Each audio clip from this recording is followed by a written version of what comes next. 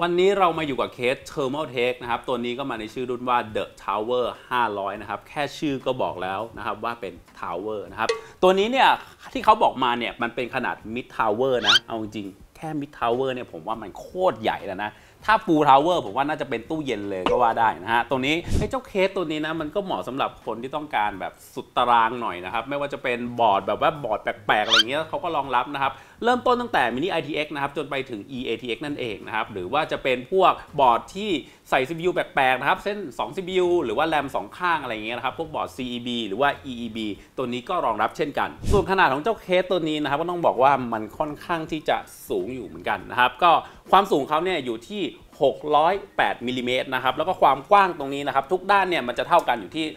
388นะครับแต่ว่าจะมีด้านหลังนะครับจะมีเพิ่มมาก็คือมีขดส่วนของตั้มสกูขึ้นมาอีก 1 เซนหรือว่า 10มิลนั่นเองส่วนข้างในนะครับแล้วก็การแกะจะเป็นยังไงเราไปดูกันเลยนะครับก็ต้องบอกว่าเราดูตรงนี้เนี่ยแกะไม่เป็นจริงๆนะครับมันไม่รู้จะเริ่มจากตรงไหนเลยนะครับคือมันไม่มีอะไรที่แบบโผล่มาให้เราคิดว่า แกะได้หรือว่าต้องเริ่มจากตรงนี้เลย ฉะนั้นเราต้องดูคู่มือ หลังจากที่ไปอ่านแมนนวลมาเรียบร้อยแล้วนะครับ ก็เริ่มแกะกันเลยนะครับ วิธีการแกะของเขาเนี่ยเขาให้เริ่มจากทางด้านบนนะฮะ ก็เดี๋ยวเราขยับมาหน่อยเดียว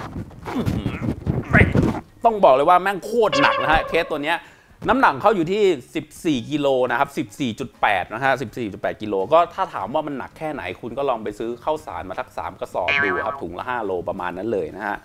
การแกะนะครับตัวนี้เนี่ยด้านบนเนี่ยเขาจะเป็นพุทล็อกนะครับจะมีทั้ง 2 ฝั่งซ้ายและขวากดไปทั้ง 2 ข้างพร้อมกัน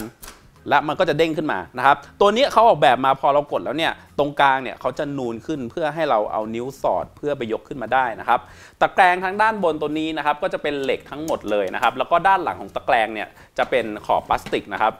ไอตัวตะแกรงกันฝุ่นเนี่ย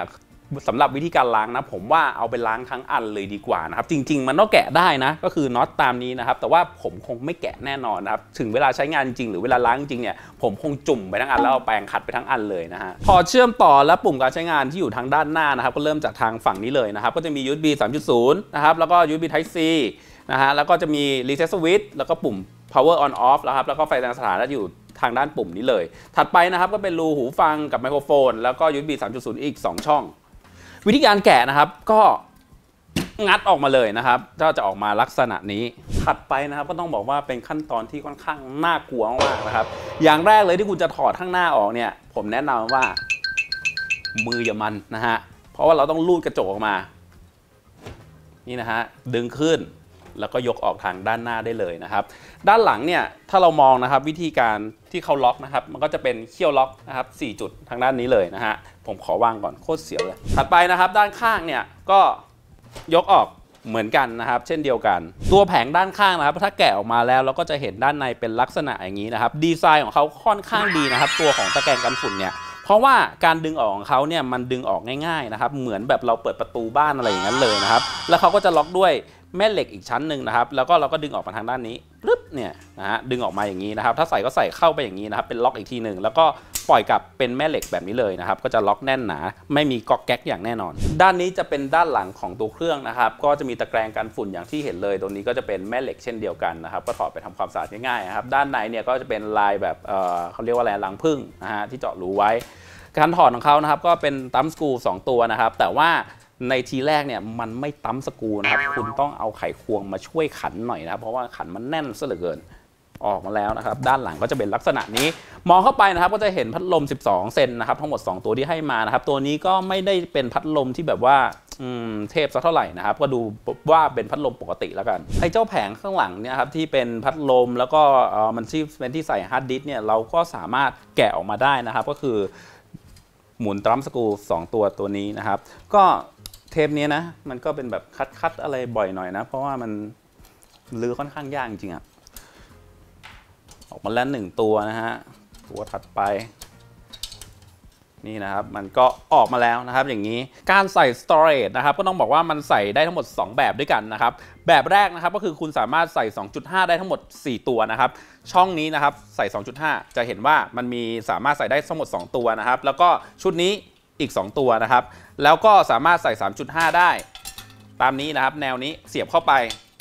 แล้วก็แนวนี้นะครับเสียบเข้าไปก็เท่ากับว่าในแบบแรกเนี่ยคุณสามารถใส่ storage 2.5 ได้หมด 4 ตัว แล้วก็ 3.5 ได้หมด 2 ตัวสำหรับแบบที่2นะครับก็คือคุณสามารถใส่ 3.5 ได้ทั้งหมด 4 ตัวนะครับก็คือคุณแกะตัวนี้ออกมานะครับ แกะชุดนี้ออกมา แกะพัดลมออกมา แล้วคุณใส่ 3.5 ได้ทั้งหมด 4 ตัวนะครับ ก็ แล้วแต่คุณจะไปใช้งานเลย ถ้าถามว่าสามารถใส่ได้มากกว่านี้ไหมในกรณีไฮบริดนะ คือถ้าใครไปเล่นพิเลน ผมว่าใส่ได้อีกนะ มาพูดถึงในส่วนของการติดตั้งพัดลมหรือว่าหม้อน้ำมันก่อนแล้วกันนะครับ ก็อย่างแรกเลยเนี่ยข้างบนเนี่ยคุณสามารถใส่ 12 เซนได้ทั้งหมด 2 ตัวหรือว่า 14 เซน2 ตัวนะครับ ส่วนหม้อน้ำเนี่ยก็จะเป็น 2 ตอนนะครับ 240 หรือ 280 ก็ได้ ไอชุดเนี้ยมันสามารถแกะออกมาได้นะ แต่ว่าผมขี้เกียจแกะแล้วจริงๆโคตรเหนื่อยเลยตัวเนี้ย ด้านข้างของตัวเครื่องซ้ายและขวาแนวนี้นะครับ คุณสามารถใส่หม้อน้ำได้สูงสุดที่ก็คือ 360 นั่นเองนะครับ ก็คือสามารถใส่พัดลม 12 เซนนะครับ ได้ทั้งหมด 3 ตัวด้วยกันนะฮะ ตัวเนี้ยเขาจะมีแบร c เก็ตมาให้ด้วยนะครับแบร c เก็ตตัวนี้เนี่ยมันก็สามารถย้ายได้ทั้งซ้ายแล้วก็ขวานะครับแล้วแต่คุณจะสะดวกติดตั้งทางทางด้านไหนก็ได้นะครับเอาที่คุณสะดวก ด้านล่างตรง power cover ตรงนี้นะครับคุณสามารถเลือกใส่พัดลม 12 เซนหรือ 14 เซนก็ได้นะครับข้างละ 1 ตัว power cover นะครับตัวนี้เราสามารถถอดออกมาได้นะฮะทั้งสองฝั่งนะครับทั้งซ้ายแล้วก็ขวาตรงนี้เป็นชุดแยกกันนะฮะก็อย่างที่เห็นเมื่อกี้ลืมบอกไปนะครับก็ทุกตัวที่ผมบอกว่า ถ้าคุณไปใส่พัดลมนะครับ ตัวนี้ก็มียางรองกันสะเทือนมาด้วยนะฮะลงมาด้านล่างนะครับ จะเห็นอยู่นะครับว่าตรงนี้เนี่ยคุณสามารถใส่ water pump ได้นะครับตระกูล Pacific อะไรพวกนี้นะครับรูก็มีหลายแบบหลายขนาดนะครับเขาจะเจาะรูมาให้เพียบเลยแล้วก็บอกไซส์มานะครับ ว่าคุณจะใช้ไซส์ไหนโซนด้านหน้าตรงชุดนี้นะครับ คุณสามารถใส่หม้อน้ำได้อีกนะครับ สูงสุดที่ 240 มิลนะฮะแล้วก็สามารถใส่พัดลม 12 เซนได้ทั้งหมด 2 ตัวนะครับ วิธีการแกะก็อย่างที่เห็นนะครับ ถ้าคุณ แกะตอนหลังจากประกอบเครื่องเสร็จแล้วเนี่ยยากอยู่พอสมควรนะครับ ตัวนี้ก็เป็น thumb screwอ๋อหลุดแล้วนะฮะตรงนี้นะครับจะเห็นอยู่นะครับว่าเนี่ยคุณสามารถยึดหม้อน้ำได้อีกนะครับ ตัวนี้เนี่ยเราสามารถกลับด้านได้นะครับ สมมุติว่าถ้าคุณไม่ชอบแนวตั้งอย่างนี้นะครับ คุณสามารถคุณสามารถวางนอนลงไปได้ด้วย ด้านหลังนะครับในส่วนของ power supply เนี่ยคุณก็สามารถแกะได้นะครับ ตัวน็อตก็เป็นตัมสกรู2ตัวทางด้านนี้นะฮะแต่ว่าฝั่งทางด้านขวานะ ผมว่ามันขันค่อนข้างยากนิดนึงนะเพราะว่าช่องมันค่อนข้างแคบนะ อันนี้เนี่ยคุณก็สามารถถอดออกมาได้นะครับ แล้วก็ใส่ power supply นะครับความยาวสูงสุดที่ 20 เซนนะครับ แต่ว่าเอาจริงๆ ถ้าคุณไม่ได้ใช้ใส่หม้อน้ำด้านล่างนะพื้นที่ว่างข้างล่างเนี่ยตรงมันค่อนข้างเยอะนะ มันลึกอยู่ที่ประมาณ 34 เซนนะก็เรียกว่าจัดสายไฟสบายๆ หรือว่าจะใส่ยาวกว่านี้ก็ได้แล้วแต่คุณนะ power supply 1,500 วัตต์เนี่ยแน่นอนนะว่ามันก็ใส่สบายๆ อย่างแน่นอน ฝาด้านข้างของตัวเครื่องนะครับ ทั้งซ้ายแล้วก็ขวาตรงนี้นะครับ คุณสามารถแกะออกมาได้นะครับ ก็จะเป็นลักษณะอย่างนี้นะครับ ก็ตัวเนี้ยเป็นแม่เหล็กคุณก็สามารถแกะเอาไปทำความสะอาดง่าย ๆเลยนะฮะกันฝุ่น power supply นะครับก็สามารถถอดได้ง่ายนะครับง้างออกมาแล้วก็สไลด์ออกมา เท่านี้คุณก็ไปโยนลงบ่อน้ำได้เลย การวางเมนบอร์ดนะครับก็จะอยู่ทางด้านนี้เลยนะครับก็คือตัวนี้จะวางเมนบอร์ดด้านหลังเนี่ยก็เปิดพื้นที่ไว้ค่อนข้างกว้างมากๆนะครับฝั่งนี้จะอยู่ที่ประมาณ 15 เซนนะครับแล้วก็แนวสูงนี้จะอยู่ที่ประมาณ 17 เซนการวางบอร์ดของตัวนี้นะครับจะแตกต่างจากเคสทั่วไป ซึ่งเคสทั่วไปเนี่ยคุณวางบอร์ดในตามลักษณะแบบนี้นะครับแต่ว่าตัวนี้เนี่ยเขาวางแบบนี้นะครับ แล้วก็ Back I/O เนี่ยจะชี้ขึ้นไปนะครับเมนบอร์ดที่รองรับนะครับก็ที่พูดไปในตอนช่วงแรกนะครับก็คือเริ่มตั้งแต่ Mini ITX นะครับจนไปจนถึง EATX นะฮะแล้วก็ส่วนที่บอร์ดแปลกๆ ก็อย่างที่บอกไปนะครับก็คือตัว CEB หรือว่าตัว EEB ก็รองรับเช่นกัน รูร้อยสายไฟนะครับก็มีทั้งหมด 3 รูเป็นแนวยาวนะครับแล้วก็จะมีตัวยางให้เก็บสายไฟได้ดูเรียบร้อยมากยิ่งขึ้นนะครับ ก็มีทั้งหมด 3 รูด้วยกันด้าน ข้าง 2 รู แล้วก็ด้านล่างของตัวบอร์ดอีก 1 รู ตรงนี้เป็นด้านบนเครื่องนะครับ ผมจะให้ดูตัว Back I/O ของข้างหลังบอร์ดนะครับ ก็จะเห็นว่านะครับตัว Back I/O เนี่ยเมื่อถ้าคุณใส่บอร์ดเสร็จเรียบร้อยแล้วนะครับ เวลาคุณเสียบสายแลนนะคุณลองคิดสภาพสายแลนนะคุณเอามือเสียบลงไปเนี่ย ผมว่าค่อนข้างยากเลยนะฮะเนี่ย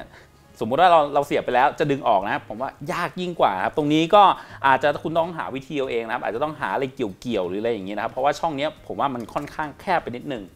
expansion slot นะครับมีทั้งหมด 9 ช่อง ตรงด้านนี้นะครับจะเป็นส่วนที่เหลือตรงนี้เนี่ยผมก็ไม่รู้ทำอะไรนะครับ แต่ผมก็คิดว่าน่าจะเอาไปใส่พวกอ,อุปกรณ์เสริม พวก controller ต่างๆ RGB อะไรแล้วแต่คุณนะครับ ตัวนี้ก็เป็นช่องว่างที่เหลืออยู่ การร้อยสายไฟออกจากตัวเครื่องแล้วก็มาถึง back I/O นะครับมาตรงเนี้ยคุณจะเห็นอยู่ว่ามันมีช่องอยู่นะครับตัวนี้จะเป็นด้านหลังเครื่องนะ คุณก็เอาสายไฟร้อยเข้ามาแล้วก็เสียบได้เลย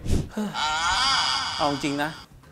กว่าจะประกอบเจ้าตัวตึกนี้เสร็จนะหรือว่าจะเรียกว่าไอ้กันดั้มนี้เสร็จก็ได้นะก็เรียกว่าเหนื่อยเหมือนกันนะครับก็เคสตัวนี้เนี่ย The Tower 500 นะครับ ผมถือว่าเป็นเคสที่คุ้มค่านะ ไม่ว่าคุณจะเป็นสาย